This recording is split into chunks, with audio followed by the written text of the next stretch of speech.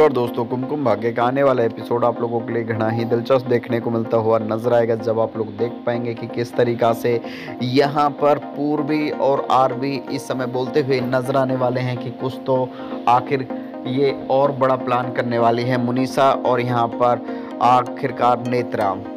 क्योंकि नेत्रा और मुनीसा लगातार प्लानिंग कर रहे हैं और प्लानिंग भी थोड़ी नहीं है, बल्कि एक अलग ही लेवल की प्लानिंग होती हुई ही नज़र आ रही है। सूत्रों के हवाले से दोस्तों, एक और भी खबर मिल रही है इस समय की, जहाँ पर आरबी की मोम बोलती हुई नज़र आने वाली है कि कुछ भी चीज़ गलत नहीं हो पाएगी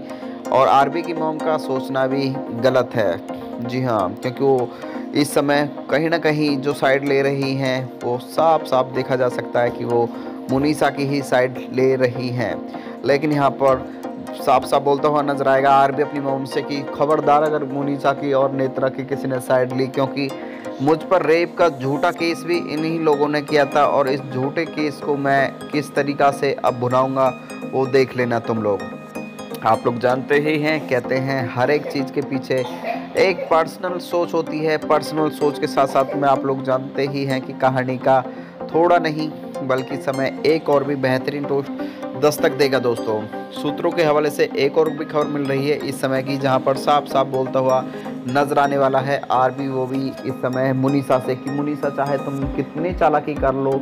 अगर तुम्हारी किस्मत में प्यार है ही नहीं तो तुम हासिल नहीं कर सकती, चाहे तुम मुझे लाख टॉर्चर कर लो, लाख मेरे ऊपर अटैक करवा दो। क्योंकि मेरा प्यार सिर्फ़ और सिर्फ़ पूर्वी के लिए, ना कि तुम्हारे लिए। पूर्वी वो शख्सियत है कि जो मुझसे दिल से प्यार करती है, ना कि तरह तुम्हारी तरह नहीं है कि जो मतलब से प्यार करती हो। आप लोग जानते ही हैं कि समय